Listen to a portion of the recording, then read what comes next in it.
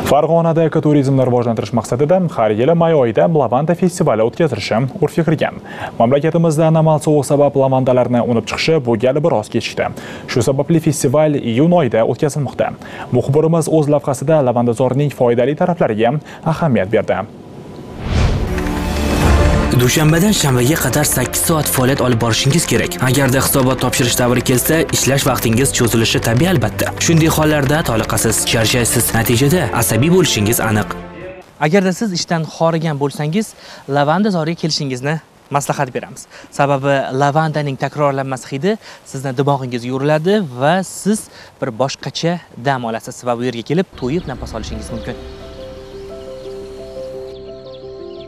Gulnora jurnalist. Aytishicha katta ko'rsatuvlarni tayyorlash vaqti montaj stolida kunlab soatlab o'tirishi hattoki dam olish kunlarini yoddan chiqaradi. Barcha ishga ko'z yumdi. Tabiat qo'ynida dam olishga qaror qildi. Kompyuter qarshisida bir xonada o'tirib tekst yozamiz montaj jarayonlari degandek tabiat qo'yniga chiqish insonga e, bir mana shu e, qo'yilgan to'siqlarni o'tishga yordam beradi. Qaysidir ma'noda uni yanada izlanishga bir yangilik yaratishga bir turtki beradi. O'zgacha bir yaxshi kayfiyat ijobiy kayfiyat asosiy e, o'rin hisoblanadi asosiy bir jihat hisoblanadi ijodkor uchun va aynan ijobiy kayfiyatga ega bo'ladi ijodkor mana shunday manzillarda.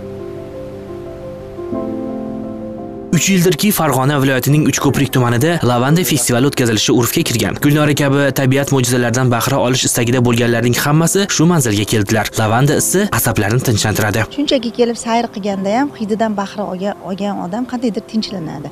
Lavandani tabobatda aynan asab tinchlantirishga ko'proq ishlatilishadi. Undan tashqari ichak kasalliklarda ham damlamalardan foydalanishadi va shuningdek kosmetologiyada ham lavanda suvlaridan unumli foydalanib kelishgan. Shu bilan birga Э, bu yerda asosan э, sayli davorida bitta narsani guvohi bo'ldim. Lavandani gullaridan quritib yostiq qilishar ekan bu aynan o'sha asab tizimi uchun foydali bo'lib o'sha yostiqlarda yotgan odam o'zini qandaydir xotirjam sezar ekan.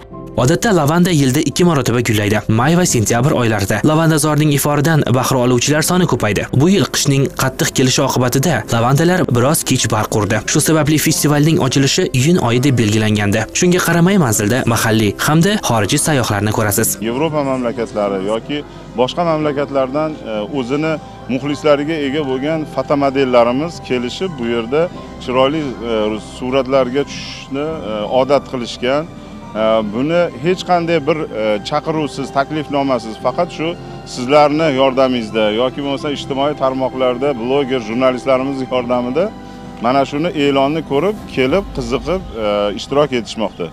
Э, biz o'ylaymizki xudo xohlasa mana shu nafaqat ekoturizmga balki hamma turizmga э, ushbu korxona bugungi festivali bilan э, o'zini ko'magini ayamay keladi.